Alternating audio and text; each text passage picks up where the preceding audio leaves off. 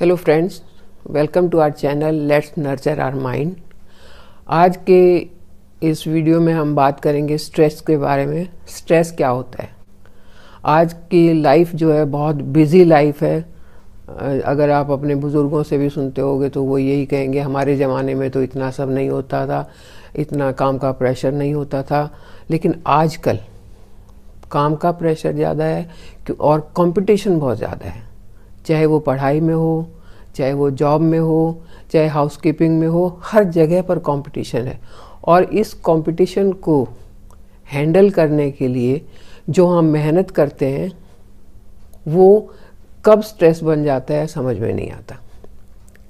Actual में pressure सबके ऊपर है, चाहे वो मज़दूर है काम करने वाला, चाहे वो जॉब करने वाला कोई इंसान है या चाहे कोई बिजनेसमैन है, प्रेशर सबके ऊपर है। लेकिन ये प्रेशर जब अंदर के एक डर से मिलता है, आप किसी काम को लेकर अंदर से डरते हैं तो वो आपका जो स्ट्रेस बन जाता है। यानी कि आपको लगता है अच्छा मुझे ये टारगेट पूरा करना है। टारगेट पूरा करना तो ये आपका प्रेशर है।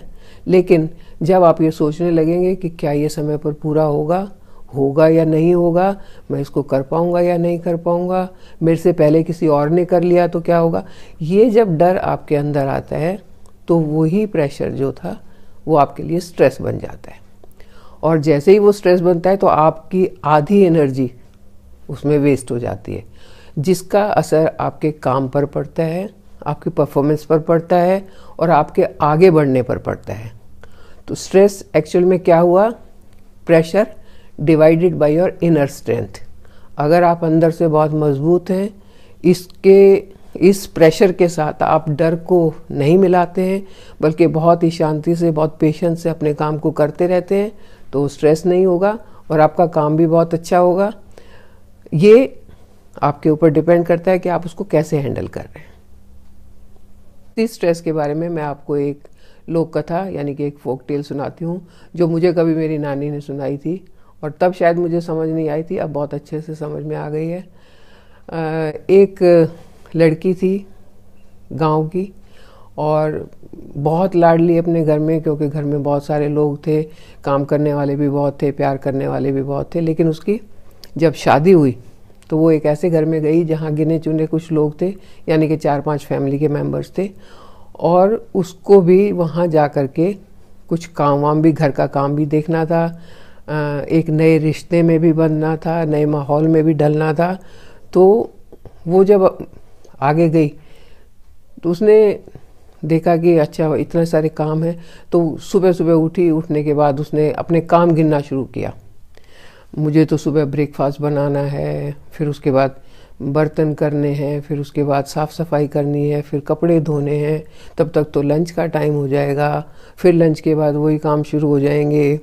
फिर चाय पानी होगा, फिर रात का खाना होगा, और भी बाकी बहुत सारे काम है। ओफ ओ मैं सोऊँगी कब? अब वो अपने दिमाग में परेशान हुई, और इसी परेशानी में वो अपना काम करने की कोशिश करती रही। कुछ काम ठीक से हुए कुछ अधूरे हुए, लेकिन इसी तरीके से करते करते उसका एक महीना बीत गया और उसकी सेहत बिल्कुल कमज़ोर हो गई वो। अब एक महीने बाद वो अपनी माँ से मिलने गई। माँ ने उसे देखते ही पूछा, क्या तू बीमार हो गई थी? या तुझे खाना नहीं मिलता? क्या हुआ? उसने कहा, ना तो मैं बीमार हुई और ना मुझे खाने की कोई प्रॉब्लम है। तो कमज़ोरी का कारण माँ की समझ में नहीं आया। बात बात में उनको पता चला कि ये तो अपने काम का ही स्ट्रेस ले रही है।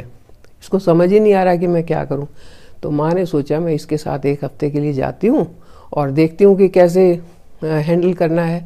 अब माँ भी आ गई और उसके तो वही आदत थी, उसने माँ को भी अपने काम गिनवाने शुरू कर दिए, ये करूँगी ये करूँगी। तुम, ओहो, माँ, मैं सोऊँगी कब? बाद माँ ने उसको एक एक करके काम बताना शुरू किया, बेटा, अब तुम ये कर लो, अब इसके बाद ये कर लो। और इस तरीके से सुबह से लेकर शाम तक वो काम बताती गई और बेटी बड़ा खुश हो के उन काम को करती रही। अब उसको वही काम जो कल तक उसे स्ट्रेस लग रहे थे वो काम आज बहुत आसान लगा। क्यों? क्योंकि उसने बिल्कुल फ्री माइंड से उस काम को किया। उसने कोई एंजाइटी नहीं दिखाई आ, कि मैं क्या करूँ कैसे करूँ। बस माँ ने बताया और वो करती चली गई। तो उसे खुद को भी एहसास हुआ कि हो ये तो कुछ आ, स्ट्रेस वाली बात थी ही नहीं ये तो कुछ तंग होने वाली बात थी ही नहीं और मैं तो बेकार में डर रही थी। और जब उसके मन में ये आया तो उसके काम में भी इम्प्रूवमेंट हुई और काम को करने की स्पीड में भी इम्प्रूवमेंट हुई। तो ये स्टोरी हमें बताती है कि स्ट्रेस हमारे ही काम को, हमारी एनर्जी को कैसे स्लो कर देता है। अगर हमें उससे बचना है तो सबसे पहले स्ट्रेस से बचना पड़ेगा ताकि हम 100 परसेंट परफॉर्म कर पाएँ और उसके बेटर रिज़ल्ट पा पाएँ। अक्सर देखा जाता है कि टेन परसेंट ही एक्चुअल सिचुएशन ऐसी होती है जो हमें करना है। नाइन्टी परसेंट तो हम बिना मतलब का अपने दिमाग में फितूर बना के स्ट्रेस में रहते हैं। ऐसा हो जाएगा तो क्या होगा ये हो जाएगा तो क्या होगा। हो जाएगा तो क्या होगा सोच सोच के भी स्ट्रेस में रहते हैं। तो ये सबसे बड़ी कमी हमारी होती है। आ, उसके बाद हमें इसलिए स्ट्रेस में नहीं रहना चाहिए कि हमारे पास ये नहीं है वो नहीं। We we must be thankful for being blessed कि भगवान ने हमें क्या क्या दे रखा है, या हमारे पास क्या क्या है, उसके लिए हमें थैंकफुल होना चाहिए, ना कि स्ट्रेसफुल रहे, क्या नहीं है उसके बारे में। ये गलत है। तो स्ट्रेस को कैसे मैनेज करें, कैसे कम करें, इसके बारे में अभी हम आपसे बात करेंगे।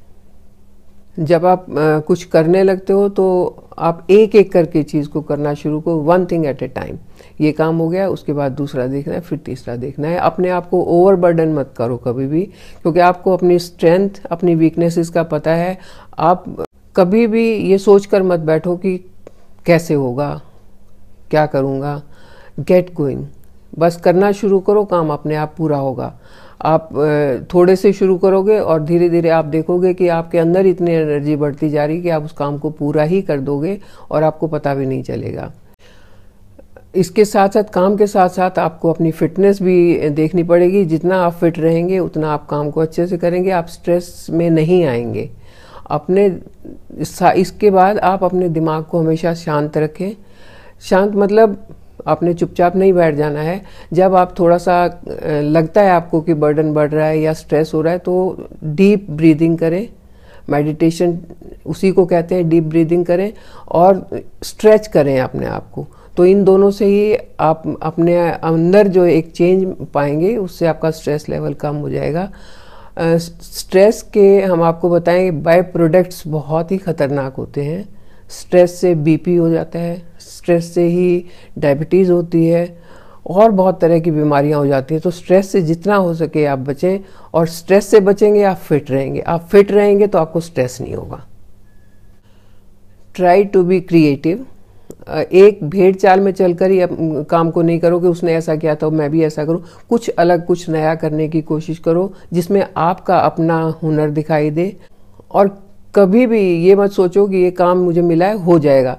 हो जाएगा नहीं try to do it as early as possible be quick to do it जैसे कि एक स्टूडेंट का अगर हम एग्ज़ाम्पल लेते हैं तो ये नहीं सोचें कि एग्ज़ाम आने से दस दिन पहले या पंद्रह दिन पहले मैं सारा पढ़ लूँगा और मेरा काम हो जाएगा। ना, साल के शुरू से ही अपने काम को साथ साथ निपटाना शुरू करें, तभी आप साल के आखिर में अच्छे रिज़ल्ट पाएँगे। और यही फॉर्मूला हर काम पर, हर जगह पर लागू होता है। आप छोटी छोटी चीज़ों में खुशी ढूंढें। जैसे कि आपके बच्चे ने अच्छी सी ड्राइंग बनाई है, आप ऑफ़िस से आते हैं और आपको आते ही वो ड्राइंग दिखाता है तो कितनी आपको खुशी होगी।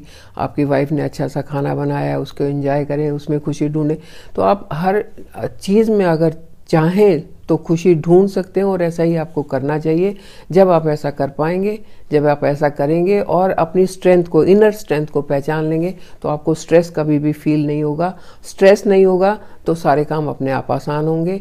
आई होप आपको मेरी ये बातें अच्छी लगेंगी और अगर अच्छी लगेंगी तो आप चैनल को सब्सक्राइब भी करेंगे और लाइक भी करेंगे। आप अपने व्यूज़ अपने हमें बताते रहिए। Thank you